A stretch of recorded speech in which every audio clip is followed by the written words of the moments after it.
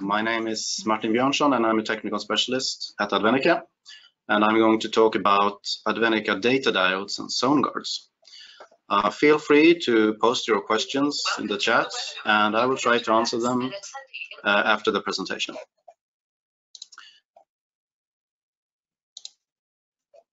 So let's start with the, the diodes.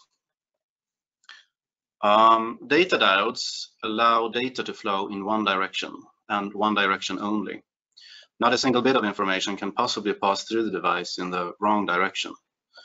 This one-way transfer of information is achieved using optical hardware, and there's no soft configuration that can possibly override this very strict unidirectional data flow.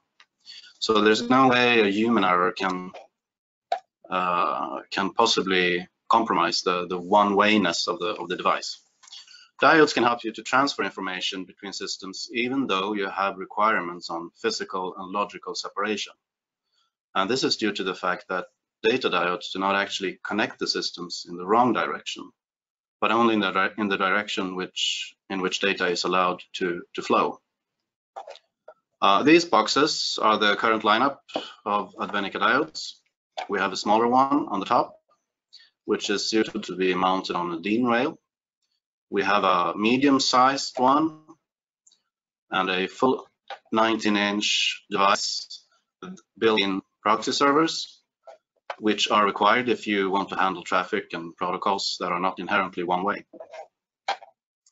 We also have a Swedish N3 approval on the medium-sized one and on the large device. Uh, and N3 is the highest level of assurance that there are on diodes today. And we are actually the only supplier with approvals on that level. So now let's go through a couple of typical use cases using diodes. And the first one out is unidirectional logging. So um, centralized monitoring and logging is a very important piece of the puzzle when it comes to a secure IT or OT environment. Now, let's imagine that you have a business network or an office IT network and a couple of OT, OT environments uh, that we want to connect to an audit zone or an audit network. Uh, this could, for example, be a security operations center and it could be managed by one of your subcon subcontractors. Uh, by separating your networks from the audit zone using diodes, your sensitive networks remain isolated from each other. Um, there is no way that information can start flowing between the networks through audit zones, since there's no way back from the audit zone. The SOC cannot affect OT or IT environments. So an incident in the SOC or audit zone could, of course, reveal your logging information, but the integrity of your sensitive networks will remain intact. Also, an attacker that somehow has gotten into your environment will find it very difficult to erase or modify logs that have traversed the diodes to audit zone. So the diodes protect your sensitive networks from each other and from the audit zone and from the SOC. Okay. Um, our next diode use case, which is also a challenge in OT environments, is software updates. Uh, so what I'm going to show you here is actually Windows updates, but the principle also works with Linux-based uh, systems, for example, Debian mirroring, and other types of updates as well. Uh, if you have antivirus software with antivirus signatures that has to be updated, you can use the same principle. Um, so the solution is based on having two different update servers in your system, one located outside of OT, and which is typically in the in the IT environment, uh, or, a, or a DMZ belonging to the IT environment, and another server located in the OT environment.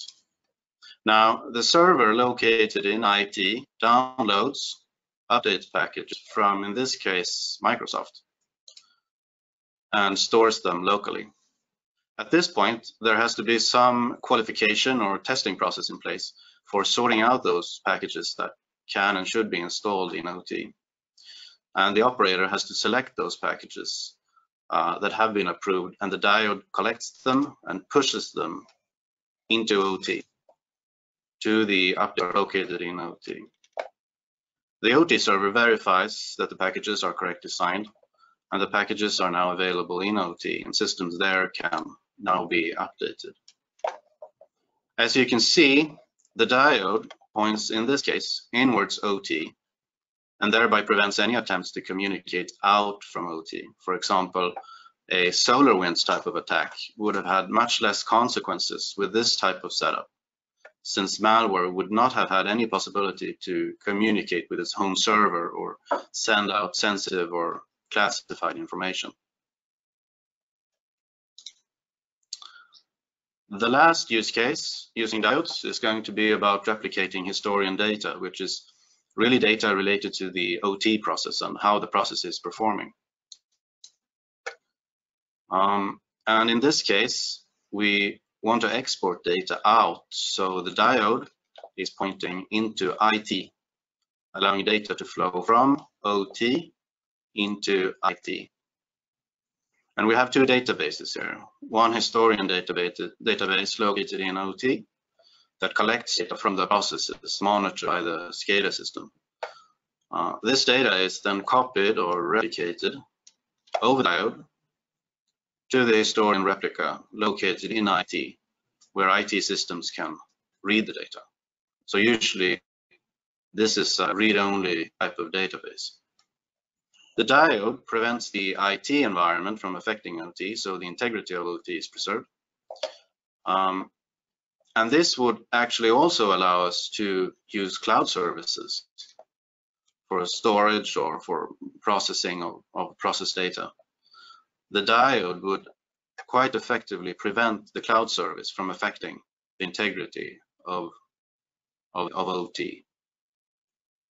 Uh, now, note that if you combine this solution with another diode-based solution, with the diode pointing in the other direction, for example, the previous use case with software updates, you should have some kind of internal segmentation in OT between the systems that communicate through the diodes. Otherwise, you risk having a two-way communication between IT and OT, despite uh, despite the diodes. And that was the last diode use case. And now we're moving on to the ZoneGuard. Um, and the ZoneGuard is a gateway for a controlled information exchange. Uh, as a network appliance, it is similar to an application proxy or an information exchange gateway, which is a, a NATO term for these types of devices. Uh, and the purpose with it is to monitor and control the information flow between different security domains. Compared to a data diode, this device allows two-way communication and it also has a filtering security mechanism. The ZoneGuard is at its core a security platform on which we can support different types of protocols and applications, um, such as uh, logging, uh, file transfer, email, uh, remote access using the RDP protocol, various uh, database uh, related protocols and applications. Uh, this is just naming a, few. So now let's see what happens inside the ZoneGuard and the number of steps that the information has to go through in order to pass from one side of the device to the other. So data is sent to the ZoneGuard packets, and packets are accumulated until a complete email has been received. Let's assume that we're dealing with an email application here. Now that's already quite different from how many other security devices work, such as firewall, as they normally don't accumulate emails or files or whatever type of information you are transporting over your network. In the next step, the document, in this case, the email, is stored and separated from the protocols that carried the email over the network. So we, we get rid of all the other protocols and just keep the email. The content is then split into its components like sender, receiver, body, and so on. And it's structured in a way that makes it easy for the filtering mechanism or policy engine, which is really the core of ZoneGuard, uh, which makes it for the for the policy engine to process these components, the different components. The structured components then enter the policy engine uh, and we can apply a rule set which is defined specifically for this installation. Um, we can, for example, verify that emails are only sent to specific receivers, uh, that the body does not contain any sensitive words or tags. Attachments can be removed or processed in different ways. The content is then sent to the data out side where it is reassembled divided into data packets again and sent out on the network. So quite many steps and validation points to get the email from one side of the device to the other. Uh, so now I'm going to go through uh, one use case using ZoneGuard as a security device. Uh, and this one is one of our latest additions of protocols supported by the ZoneGuard, ICCP or TASE.2. So ICCP has been standardized by IEC and it's used for exchanging information between different power control centers. And the purpose with that is to coordinate these different systems for generation and distribution of power. These control centers are typically typically arranged in a in a hierarchy, as you can see in the illustration, with uh, one or a couple of centers uh, in the middle. There are, however, some possible challenges with this. First of all, ICCP and the underlying protocol stack, which is also called the utility stack, is quite complex. As you can see here, there are many layers of protocols, and these protocols are not widely used in other applications. So the level of complexity is high, and the protocols are somewhat, let's say, exotic, which leads us to the next challenge, that there are not that many different implementation of this protocol. So, uh, so vendors of systems that provide support for ICCP tend to use the same implementation they all have the, the same third-party source for the implementation. Uh, and these uh, homogeneous uh, environments are often considered more vulnerable since one bug or a software vulnerability can be used for attacking all servers running this ICCP implementation. There is also, in some cases at least, I should say, a lack of boundary protection between the control centers. And that's, uh, among other things, that's due to, to the fact that this communication is usually not exposed to an open network, but rather um, on dedicated links or and the organizations that, that run these control centers usually more or less trust each other. So they don't really recognize the fact that a breach somewhere in the network could spread to all sites without being slowed down or stopped by proper boundary protection. The ICCP servers are, as many other servers in OT, not properly hardened or patched.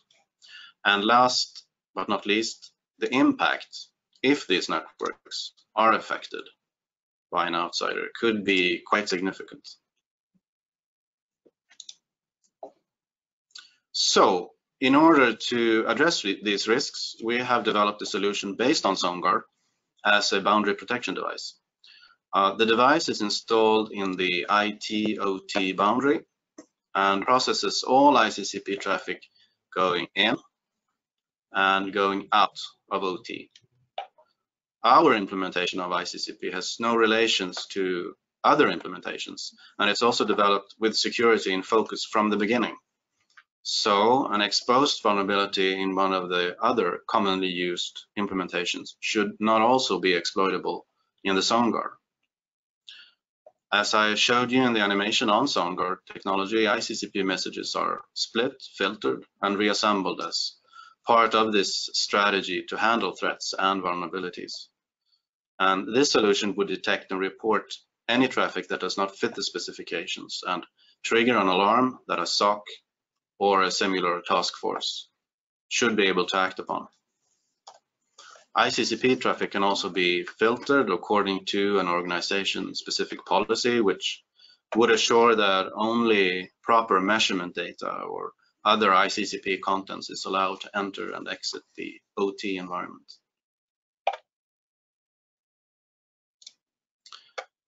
And that's what I had planned for this session, and I'm ready to take any questions that you may have. Mm, Yes, Yes, Petra Petra here. here. Uh, There are no written questions at the moment. Um, So um, if Somebody somebody has a question.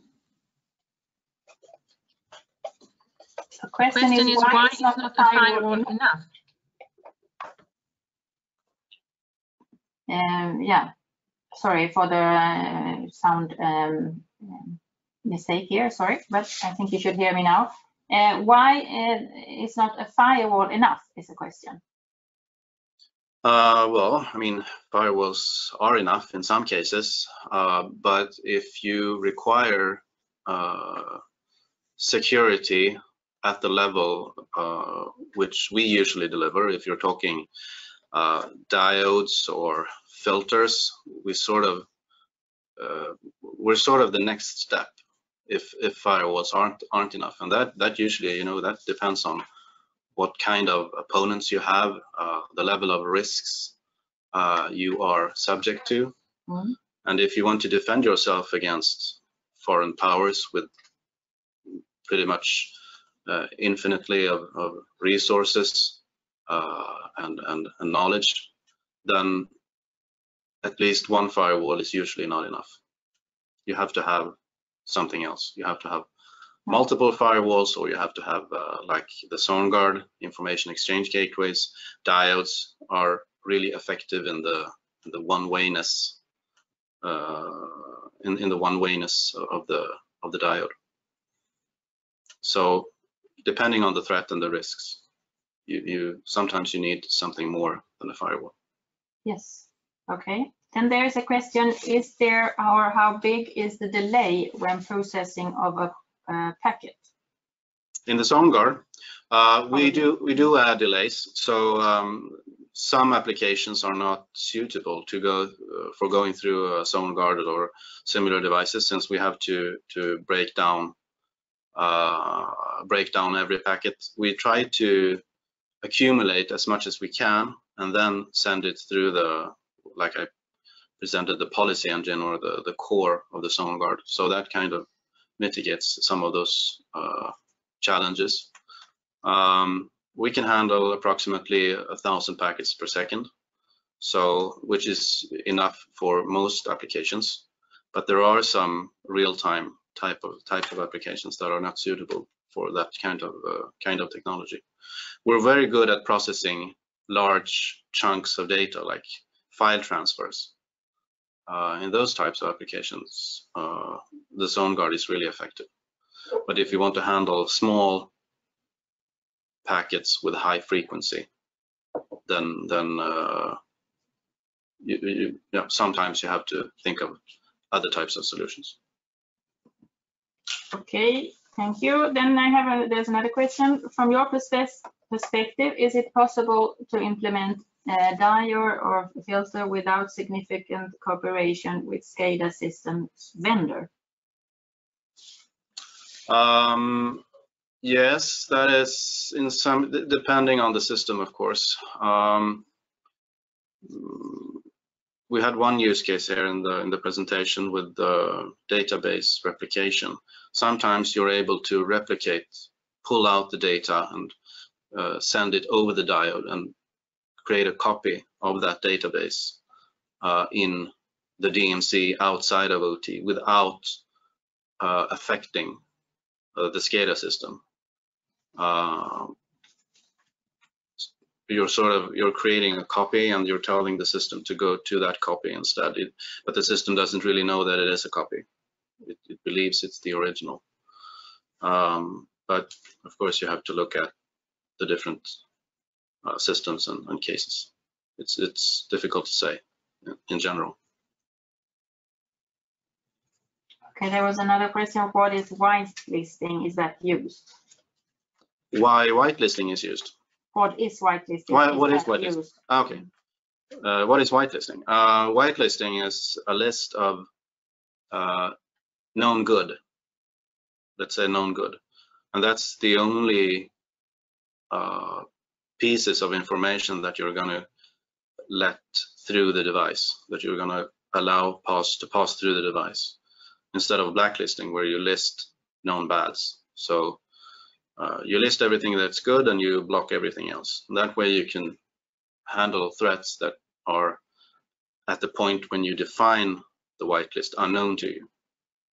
So that's usually a more effective long-term strategy to handle threats. Yes. Okay, thank you, uh, Martin. Thank you. Um, thank you for your presentation about our diodes and ZoneGuards and use cases with them. And, and now we're going to hand over to uh, a new presenter, which is George.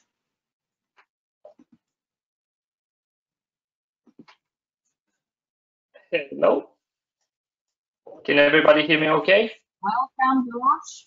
Okay. Can you see now the presentation? Uh, sorry. Can you hear me all right? Yes, we can hear and we can see you. Thank you. Yes.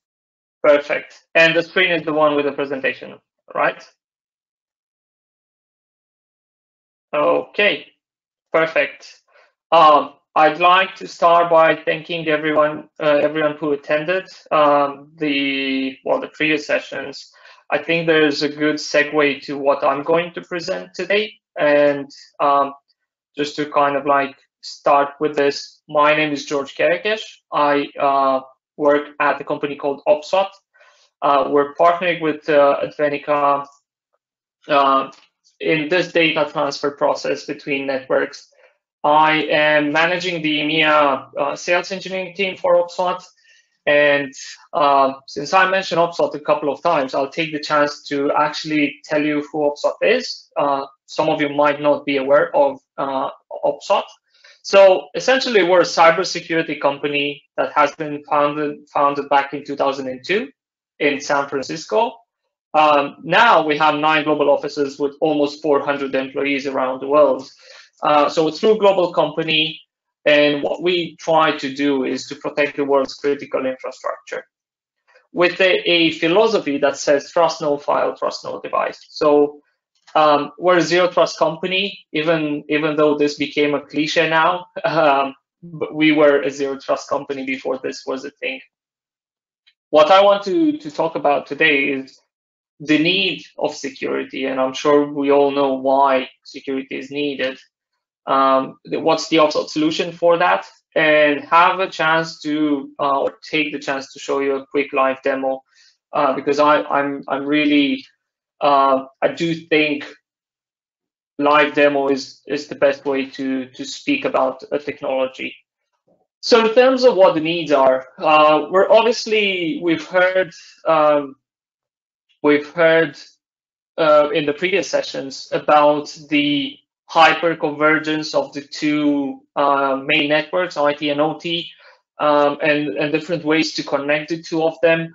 Um, it's very difficult to still find a true air gap network, which is truly disconnected from the other network. And that's for, you know, um, business reasons and operations reasons.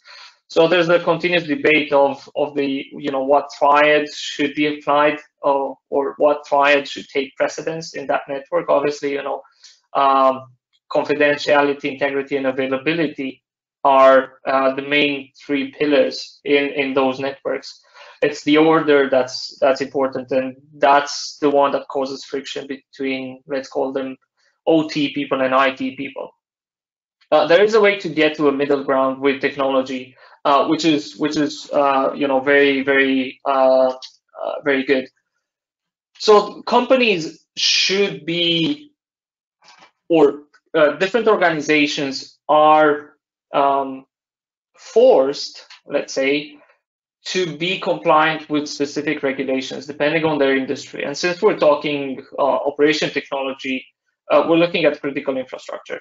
So depending on on you know the the territory or the country they operate, they might be subject to compliance uh, regulations like NERC or NEI or NIS if we're talking Europe, right? Uh, those have several core requirements, all of them, right? Um, uh, the way to transfer data between low to high or IT to OT is usually using transient devices. So we include here all kind of portable media, you know, USB, CDs, uh, floppy disks, even, and uh, even even laptops. So there's a, obviously a need to make sure the data that gets transferred between or over the air gap, it's uh, it's clean. So there's ways to do that. Uh, in in isolated environments, uh, it's it becomes a bit challenging where we cannot use a diode. Um, then you know it's essentially jumping over the air gap. Uh, usually using uh, storage device, portable storage devices that are encrypted. So uh, the file processing and remediation is uh, a bit more challenging, but it's still doable. There's obviously a need to implement robust workflows and enough access controls. So the security team is um, is you know can can can sleep at night uh, knowing there's data moving from IT to OT. And then when, we're looking at you know um, the recent attacks and this first almost half of, of, of this year uh, was all about supply chain protection and supply chain attacks. Uh, it's probably more important than it ever was. Um, and it's not only in, in, in OT environments, it's now uh, very uh, the spotlight on this. It's on the IT environments also. Uh, that's obviously going to affect the reputation of, of businesses if there's no enough security controls to protect against supply chain attacks. Um, there's there's probably no cybersecurity solution out there that can provide 100% guarantee they would be able to stop the, the, supply chain attack. But at least from an organization standpoint, um, you know, there it it would be let's let's call it um, it would be good to implement enough security controls to make it uh, as difficult as possible for a threat actor to actually uh, choose choose that way uh, to attack the company. So knowing this, and, and I, I didn't choose to present what's the you know what's the threat landscape. It's been presented very well in the beginning of, of the webinar. We all know what the, the what the danger is, uh, and we we just have to focus on how to prevent this to happen to to to our organization essentially. And Opswat comes to help with a platform called MetaDefender. And this platform, uh, I, I personally call it a defense in depth software. And reason for that is because in this one software, we combine multiple technologies to make sure the files that get transferred from one network to another are clean. So it's all about file security. What technologies we use to make sure files are clean? Well, the first and most important one is the multi-scanning. As you can probably um, tell by the name of the technology, it's essentially combining multiple antivirus, uh, antivirus engines together to scan files at the same time.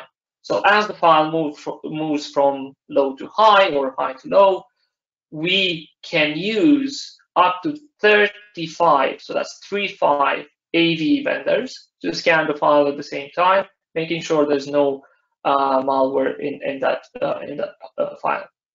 Now the benefits of doing that, I guess you know it's uh, they're, they're obvious for for all of us. Um, increased detection rate. Uh, the more engines you add, the the more malware you're able to detect. But also you're you're going to be able to detect it quicker. So quicker reaction to outbreaks. Uh, and also spreading the risk, uh, essentially not relying on one or two AV vendors to make sure uh, the files that get into that most critical network are uh, secure, you're spreading that risk ac across 35 of them. But since this is the detection-based technology, like any detection-based technology, it has a limitation, right? And when I say detection-based technology, I'm, I'm, I'm, referring to anything that's, you know, AV, sandbox, IDS, IPS, you name it. Um, there's still zero days out there for a reason. Uh, so knowing this, uh, this limitation, we somehow enhance uh, the, the capability of the platform with a different technology uh, which is at the other end of, of how this works. Essentially, it's uh, we call it deep CDR, content disarmament reconstruction. So when you have contractors trying to transfer all kind of uh, user guides or all kind of productivity files into that network, which doesn't happen as much as it happens transferring binaries, but it still happens. And we see in the news, um, uh, you know, attacks that leverage uh, malicious macros and, and things like that to get a foothold in that in that network. Uh, this is where deep CDR comes into play. Being a pure prevention technology takes a zero trust approach to file security, removing all the objects that can be weaponized and creating a new file out of it. So we have multi-scanning, we have deep CDR, so uh, detection and prevention uh, working together uh, we also have the ability to detect if there's any sensitive, uh, sorry, if there's any, uh, any known vulnerability in that file, if it's a binary or an application installer. And we, we can also check if there's any sensitive information in the files that get transferred mostly out of the, the air gap. So those are the four main technologies, multi-scanning, deep CDR, uh, vulnerability assessment, and proactive DLP now, um, just going to skip through some of those, but obviously the system, it's a, it's a, it's a software, runs on a virtual machine, get, gets deployed uh, on-premise. There's no connection to the cloud. It runs in air-gap environments. Actually, most of our deployments run in air-gap environments. And there's a, there's a process on how to update the AV definitions in an offline environment. We provide a free tool for that and it can be automated if there's a data diode that can transfer the files uh, where the system uh, uh, resides. And in terms of what's happening in the system when we scan a file, you can see this on the on the slide here. Those are essentially uh, the technologies that work in the back end, making sure the file file is clean. So the file gets to the system. The first thing we do is a is a true file type verification. We're not relying on file type extension to make sure the file is of, of that type. We look inside the file for magic number headers to determine the exact file type. So spoofed files cannot uh, move to, to the next step. Uh, after that, we do extract the files. Uh, we support over 40 different uh, compressed file types. We would extract everything and every individual object goes through multi-scanning where it gets scanned again with up to 35 AV uh, engines. We check if there's any vulnerability, any known vulnerability, and we'll show the list of CVEs associated with that uh, specific uh, software, software version, or binary. We would de-weaponize the file if it's uh, one of the 113 supported file types for sanitization. And again, that includes productivity file, Office Office documents, PDF, images, audio files, uh, emails, archives, and so on. Um, also CAD, AutoCAD files, which are also also very uh, used in, in those type of environments. Uh, lastly, we can check we can check if there's any sensitive information in that file and create a, a clean file out of it, which is the one that's used in, in that network. Now, how does that look in reality, right? What's the process for doing that, and what what are the uh, the products that we use to implement this uh, technology? So in this very simple diagram, we try to include, you know, the different options that that would exist in terms of transferring data. So obviously on the left, we have the unsecure network or the IT or the DMZ of that uh, OT environment where we have the OPSWAT kiosk. Kiosk is, uh, you can think of it as an ATM machine. Uh, it does come in different form factors. It, it can be a smaller uh, version of that hardware, but it's a portable media checkpoint essentially. Um, you have a contractor coming uh, to transfer some data into the, the OT environment or any any one that has to transfer data into the OT environment. Could be the sysadmins transferring patches uh, for for the operating systems.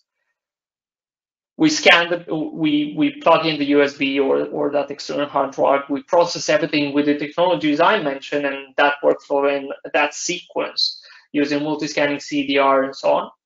And then we choose how the files get transferred on on the high side depending on the connection that exists between the two networks. Uh, if we're looking uh, at the the lower side here, if there's a if there is an, a diode, and we do work with Advenica from that standpoint, um, we would transfer the data one way from low to high, only the clean data.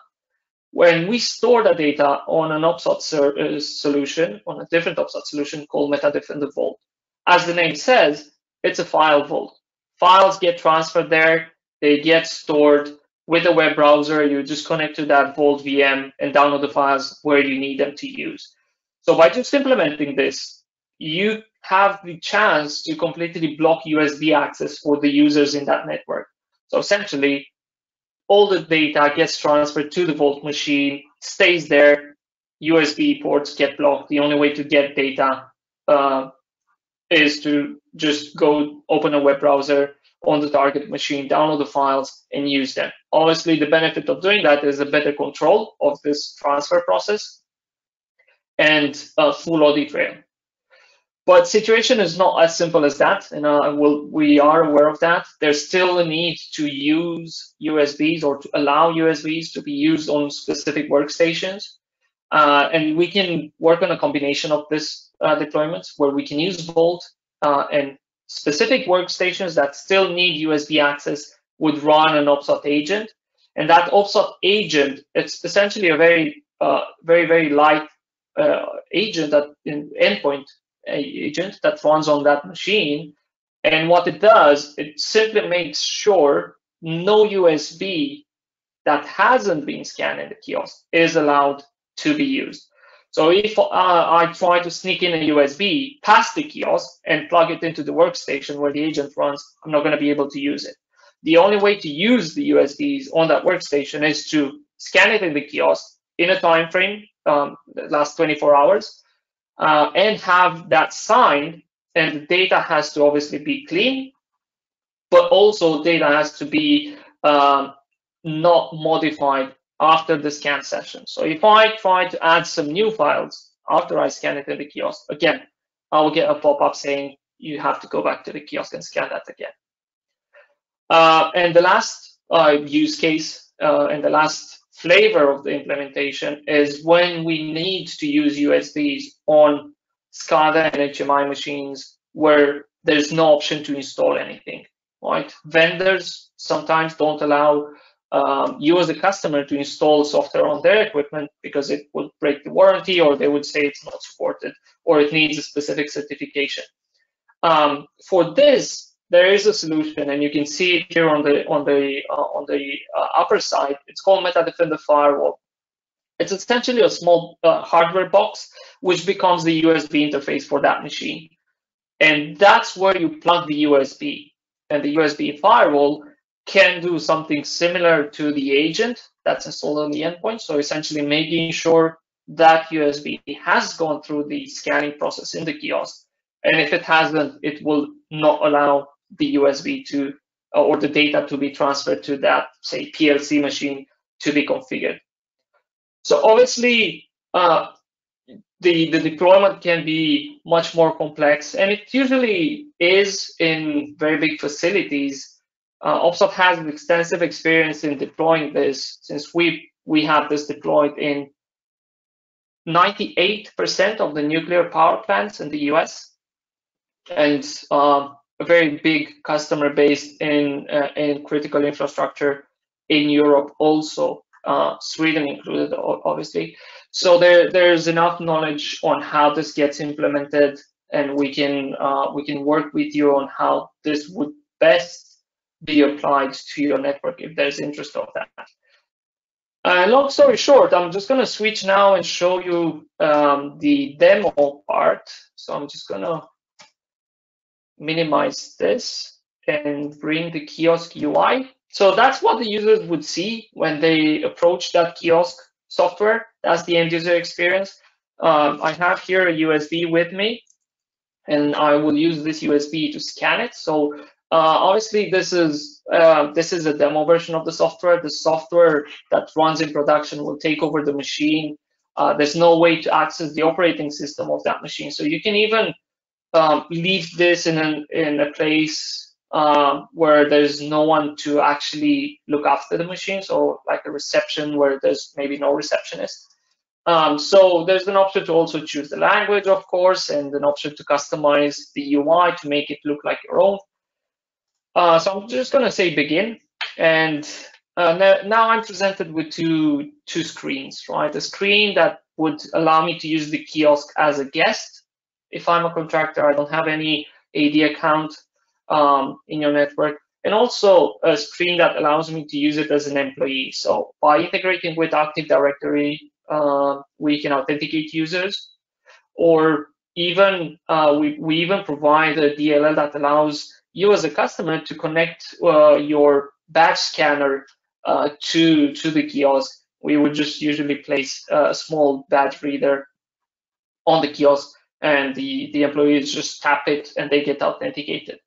I'm just going to use the guest uh, workflow because it's a bit more interesting in what it can do, and obviously there's a there's a number of questions we would be able to enforce here because being a guest, I want to know what the destination of this the data is, who's maybe that guest, who's the contact person, and so on and so forth. Uh, all those questions and answers are obviously part of a report, which is generated at the end of the scan session. So in my case, I'm just going to say the, the target machine is PLC number one. Then I'll just take the USB and plug it. As you can see on the screen, there's different uh, there's different portable media that are supported, anything that's mass storage plus CD and DVDs, even mobile phones are supported. Most of the screens that you see in this process are configurable. So if I'm an admin and I want to keep the process for guests as simple as start, plug the USB, data gets transferred, I can do that. Um, here, I just want to show the different options that exist.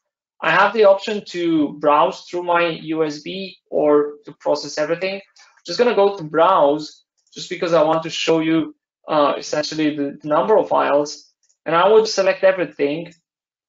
And that means I'm scanning all the files plus the boot sector of this drive, uh, which is sometimes ignored by um, by security solutions, but boot sector can obviously host rootkits.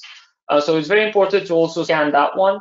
Um, now the files get scanned. In my case, they, they get scanned with eight different antivirus engines. We check for vulnerabilities and we de-weaponize the files here. And you can, as an end user, you can see the progress of this on the screen. Um, there's obviously a sound that comes up when we detect something bad. Even that sound can be customized with the sound that you prefer. Um, when we have to deal with uh, more complex files or bigger files, obviously the process would take a bit longer. And here, as an end user, if I want to see what files have been blocked, and I see three files have been blocked in my case, two of them are infected, and I can usually, you know, choose a touch screen, and I will just uh, use the touch screen to go and navigate through this.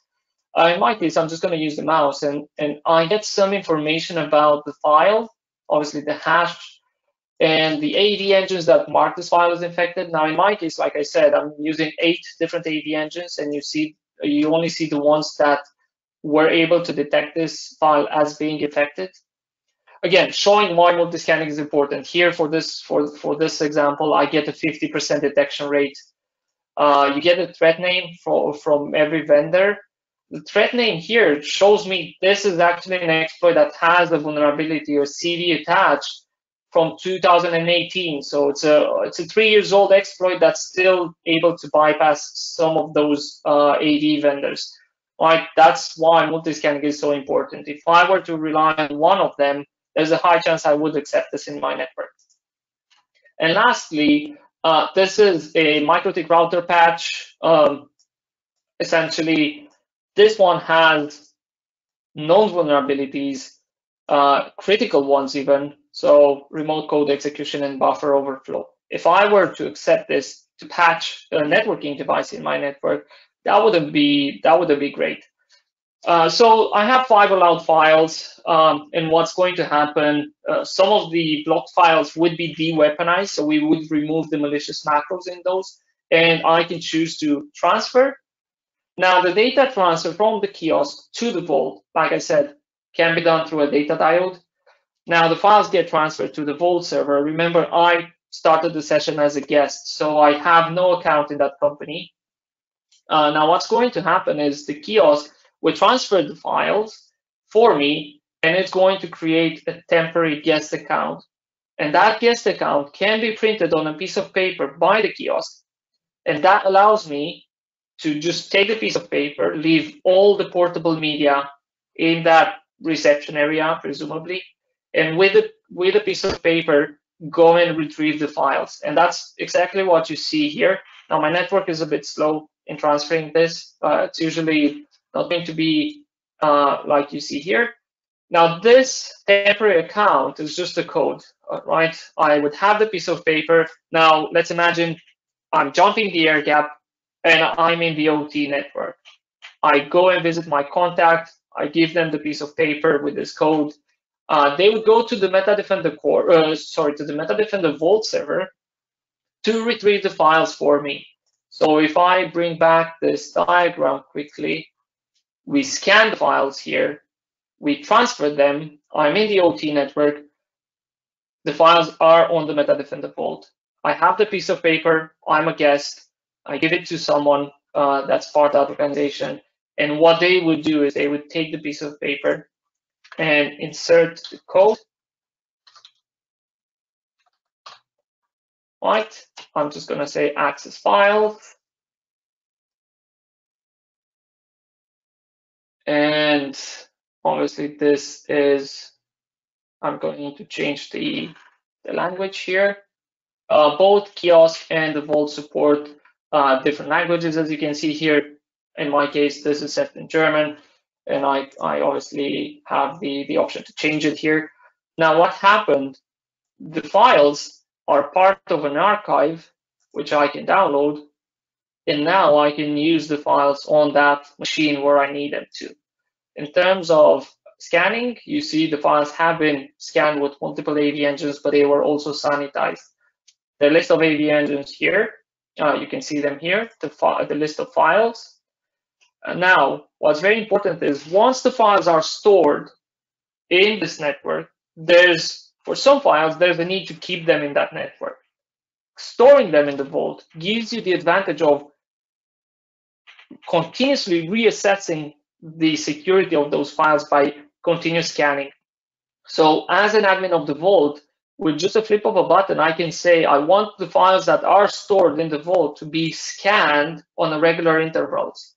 That gives me the option to potentially stop an outbreak. You know, if it if there's a zero day, let's let's say let's imagine there's a zero day that managed to evade all detections and it's part of a binary, so we cannot sanitize it it's in the vault. AV vendors would would uh, up their game. They would release a signature, um, and day one, let's say, you do update the AV engines in day one. By just implementing this continuous scanning mechanism, uh, you're able to detect that, block access to the file. The audit log would allow you to see all the users and the IPs that previously uh, downloaded the file. And then, um, you know, going one step further with the security orchestration software integration, uh, because MetaDefender uh, Vault supports API, so the integration would be quite simple, you can then automate this uh, like a playbook, essentially. so that's the benefit of using the combination of solutions that I presented. Um, and that was my presentation and demo. I do hope it was informative and it was interesting. If there's any questions, I would be very happy to answer them. Yes, thank you very much, you. Uh, George. Um, we don't have any questions written here now. Let's see if somebody has, uh, we have time for a couple of questions. Well, I hope that means everything was very clear. yes. I have uh, one question here. How do you keep the uh, antivirus engines updated? That's a great question considering this gets deployed in OT environments where, where there's no uh, internet connection. So usually what we do with our customers is we provide a free tool that gets installed in the IT network, can get installed on a regular laptop uh, or sysadmin desktop. Uh, that tool downloads the necessary files, and then we would transfer them through the diode if, uh, if, say, the platform resides on the high side, or we just take put them on a USB, plug the USB in the kiosk, scan them, and then apply them. Um, so it can be an automated process if the network allows, if the say the network technology allows, or it could be a manual process. Okay, thank you. And we have another question. Was the total amount of engines 35 a limit or can they be extended over time? Uh, it usually gets extended. Um, it goes up more than more than it goes down. Uh, we had to remove one engines. We, we one engine. We continuously uh, do assessment on performance and detection, and if we see it doesn't really perform the way we want, there's a chance we remove it. Um, that happens really rarely, but most of the times we add new engines. And new engines would be added automatically to your license if you choose to go with the maximum uh, engine package, which we, that's how we call it. Thank you. Thank you very much, uh, George, uh, for sharing this uh, presentation about uh, your uh, OPSWAT tools. And Thank you. oh, there was another question. Are the engines specialized or public, publicly available? Uh, yes, yes, they are. There's a there's a URL I can share with everybody where the name of the engines and the packages we offer plus the detection rate for each engine is mentioned. So I'm just going to paste that in the chat so you can so you can uh, you can verify that. Yeah. Okay, thank you very much, uh, George. Uh, My pleasure. We're thank moving you. on to our next speaker then, which is Mats. Welcome into the game here, Mats. There we go. Let's see. You should be able to share your presentation now.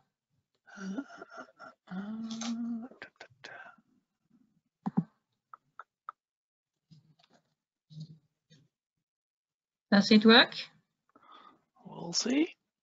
There you go. Yes, we see your presentation. Good. And we see you. Uh, go ahead. Perfect. Perfect. So um, I'm going to propose to you that we uh, need less segmentation, which is perhaps not you'd, something you'd expect at the Advenica event, but uh, don't worry, Petra, I'll, I'll, come back to what I mean really. Um, on our way towards lunch, I'll define what I mean by OT and IT and IoT. I'll compare OT security to information security and IT security.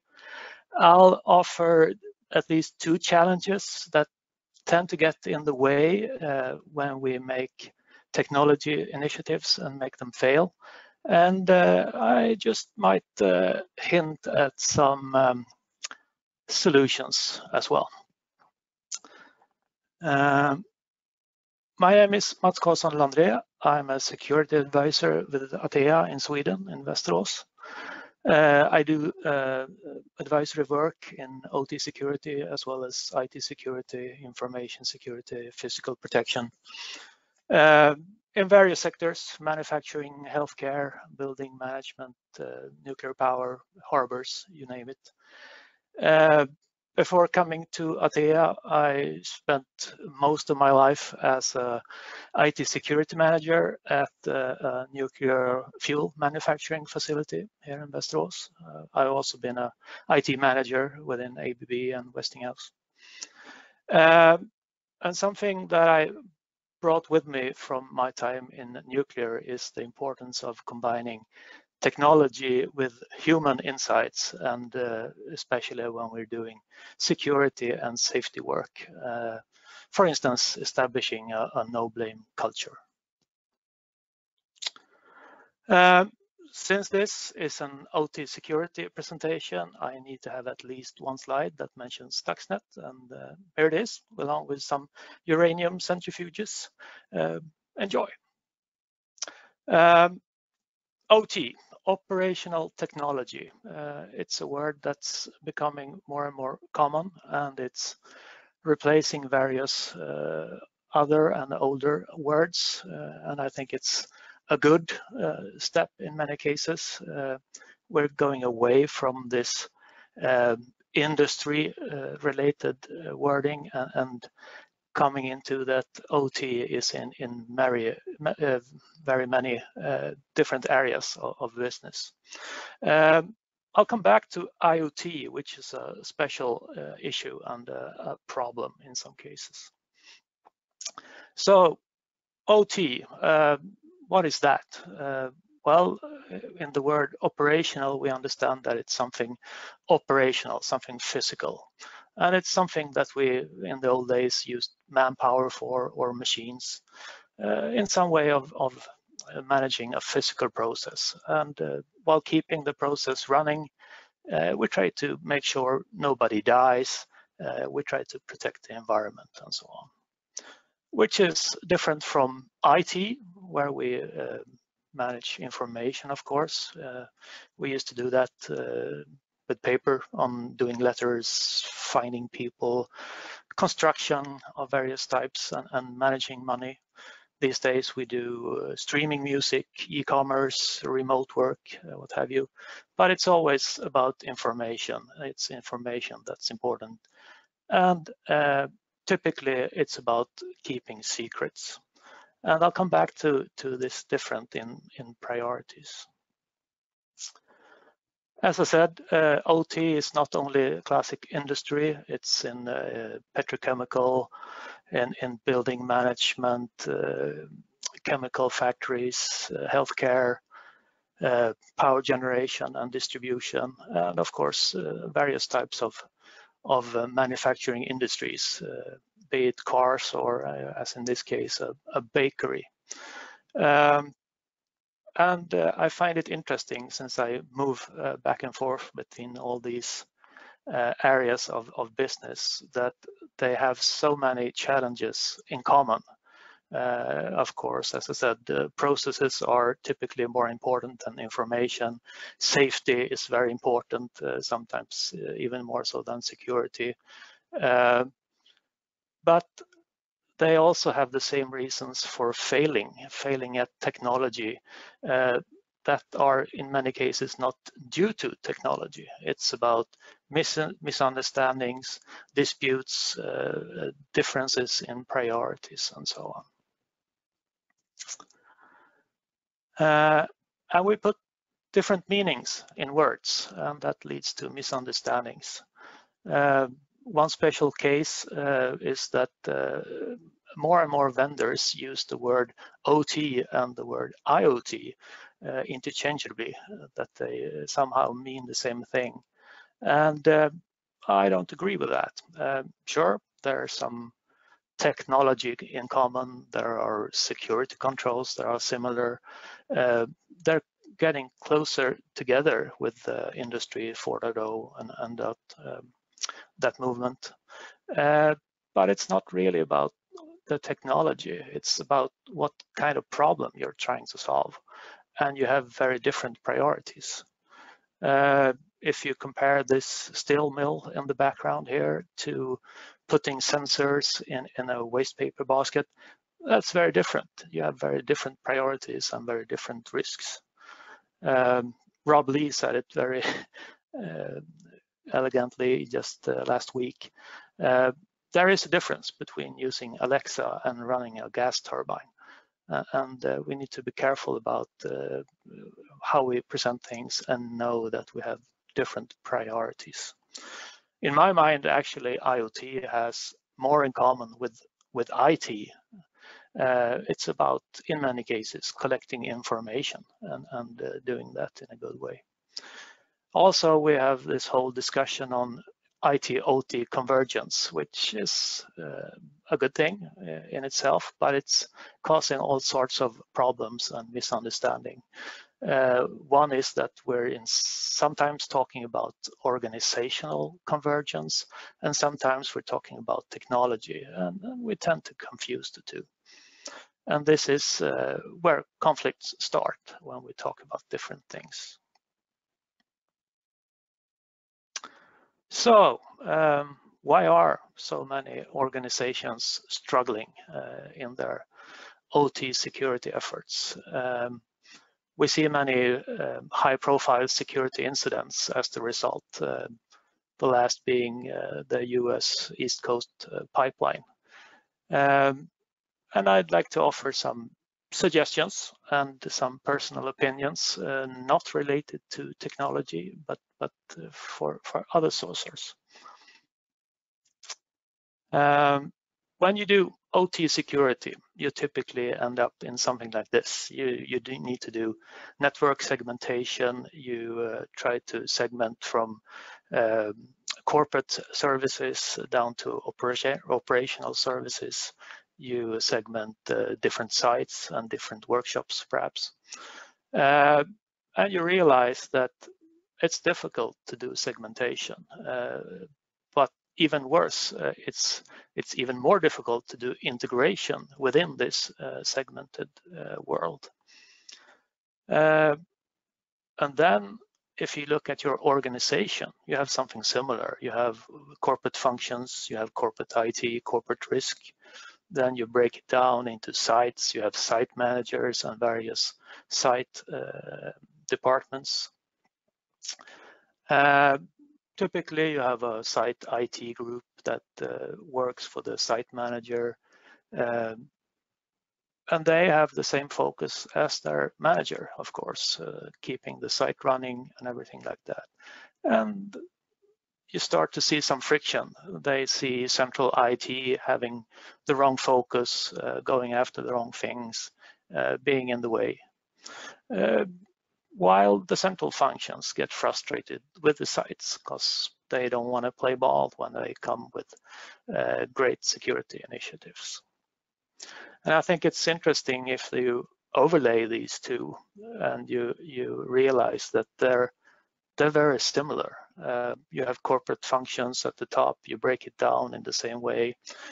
Um, and the irony really is that we're trying to add segmentation uh, to the picture in the left, and we're uh, struggling and failing at it because we have too much segmentation in the picture at the right. Um, so if we are to be able to succeed in our in our integration and segmentation efforts in the network, we need to remove a lot of segmentation on the right to, to better work together between uh, groups in the organization and also between different organizations. Um, I don't have a perfect solution to offer you for this. Uh, I think the first step is really accepting that there is a problem. We do have different priorities.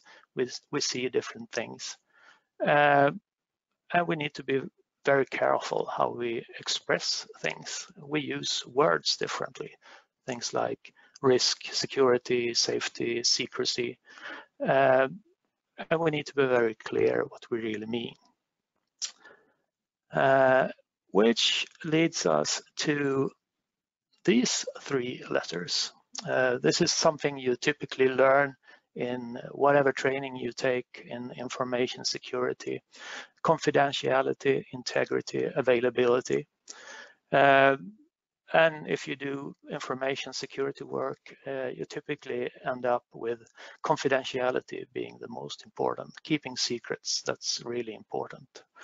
Uh, and what happens when you take uh, information security guy and introduce him to OT?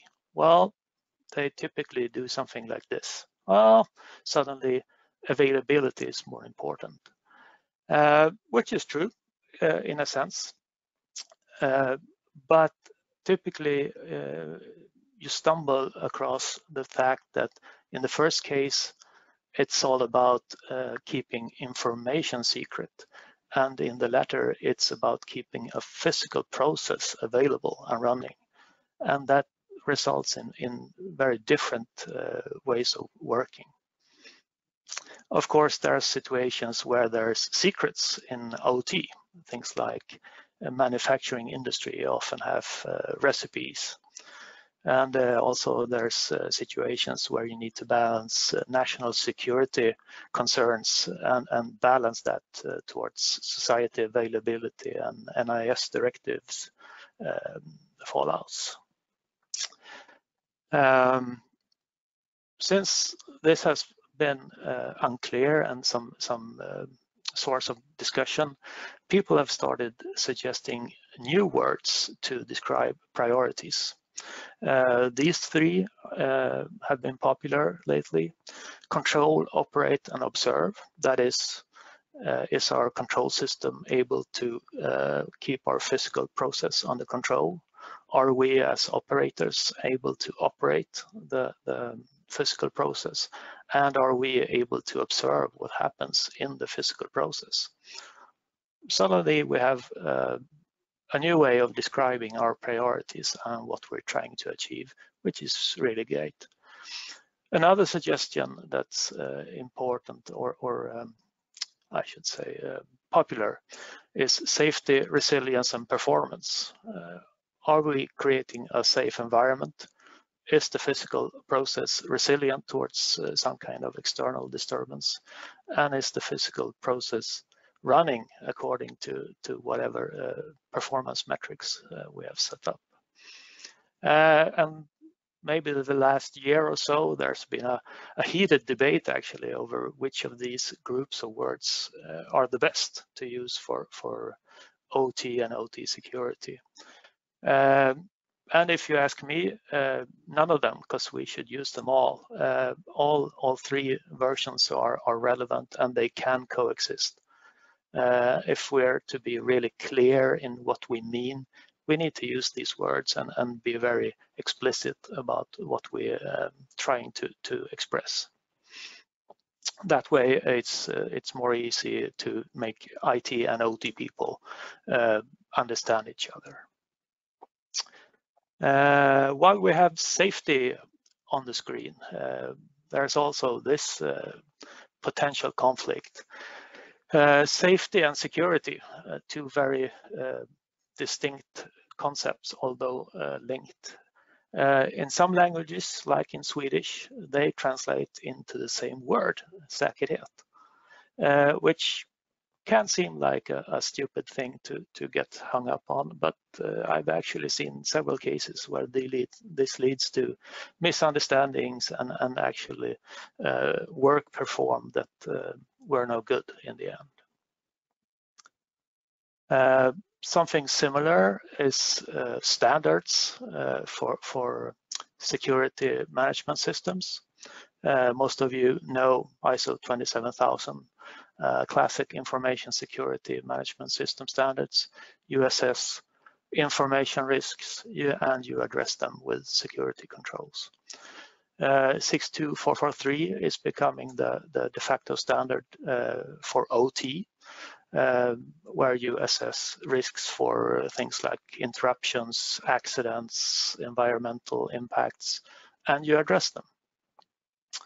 Uh, I've seen cases where people have tried using uh, 27,000 to address and manage OT security, and it uh, typically ends up uh, not working very well because it's, it's sort of strained reasoning. In my mind, we can use these two together. They, they work perfectly together. Uh, I guess the only challenge is finding people um, uh, that know both, where, where uh, there's not too many of us around uh, still. Uh, but we need to remember these have different ways of approaching things and it's in their DNA. It's, um, it's the way it's supposed to work. So what do I typically see at, at various customers? Uh, unfortunately, it's still common at some level that there's some kind of bad blood between OT and IT. Uh, they're, they're not talking to each other the way they should be. Typically, that's related to a difference of priorities uh, for various reasons. OT uh, uh, is often critiqued for using old technology, uh, which has its reasons. Uh, that's all um, um, often related to the, the, the, long maintenance cycles in, in many OT environments. Uh, we have the myth of the air gap that we've uh, mentioned before here today. And uh, luckily it's going away though, but it's, it's still there. Uh, and uh, a very common problem is remote support. Uh, these days you cannot buy a control system without also allowing the vendor to access it remotely for, for support and, and maintenance. So what do we do about all these? Uh, well, uh, I have colleagues in the business that uh, describe themselves as uh, marriage counselors, that uh, the first thing they need to do is getting people to talk to each other uh, and create understanding between different groups. And there's um, some truth to that actually. Uh, and the main thing there is really uh, making sure we're clear about the, our differences in priority. Uh, why are we trying to do different things? And also things like what risks are we willing to take? Are, do we agree on that? What's our risk appetite? Uh, do we have a common view of, of the threats that are uh, going after us? Old technology, uh, that's a problem that will not go away anytime soon in OT. Uh, having said that, we still need to find supported solutions, especially for security purposes, uh, even though we're uh, basing our solution on non-supported technology, and that's that's possible. Uh, the whole maintenance cycle, uh, if you cannot patch your systems more than uh, maybe once or twice each year, maybe you need to do something else uh, and focus your uh, efforts there instead. There's also the whole area of detection and knowing what happens in your system, which is important here, or even knowing what happened yesterday, which is a really difficult question to answer in many cases. Uh, the myth of the air gap. We need to find realistic solutions. I think Advenica has a big role to play here, of course. Uh, and uh, just generally realizing that uh, we cannot uh, uh, think about air gaps anymore.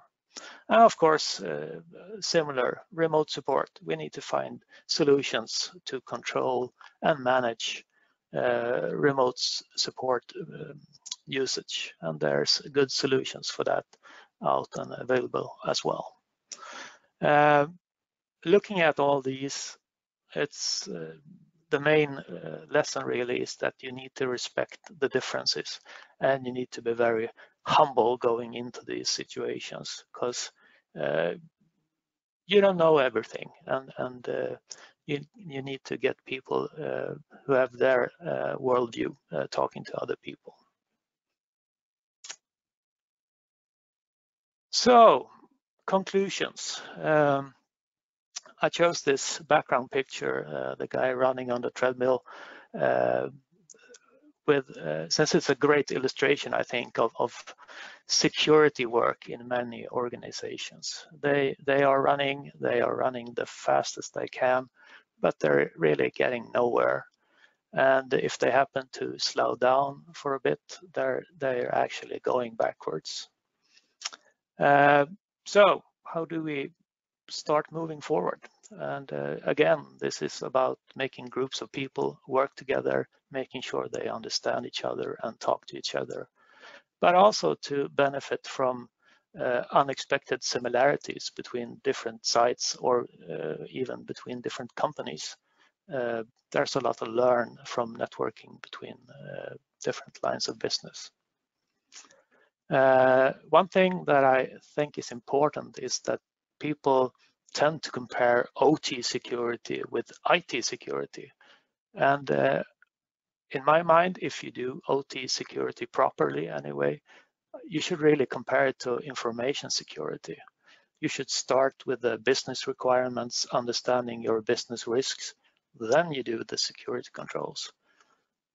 You look at physical processes and the risk there instead of looking at the information.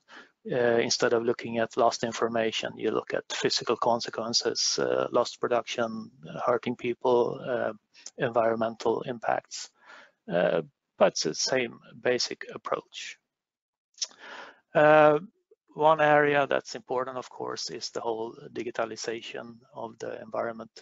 Uh, this is where we're uh, more and more tying our data flows together, which also means that we're integration, uh, we're integrating our risks. Um, again, communication is everything, both on our networks and in the organization. And we should remember that segmentation is really the easy part. It's the integration that's difficult. And that also goes for both networks and organizations. We should be very careful uh, always to describe why we're doing what we're doing, not only how. So that's it for me. Um, questions? Hey, thank you, Mats. Uh, for a very inspiring um, session here. Uh, do we have any questions out there for Mats? Please write them in the chat. Mm.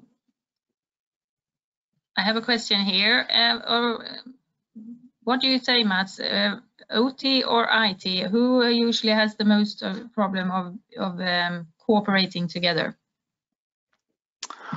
Oh, it's an equal burden, I think. Um, I can't really blame one or the other. They're uh, okay. they're mo they're more different. They they realize, but they have more in common than they know as well.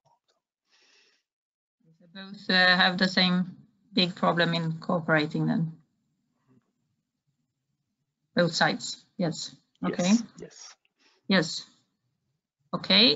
Uh, any more questions to Mats? No, does not seem like it. Okay, thank you very thank much, uh, Mats, and uh, thank you all for listening in, in at this uh, session number two here at Advenica Insight today.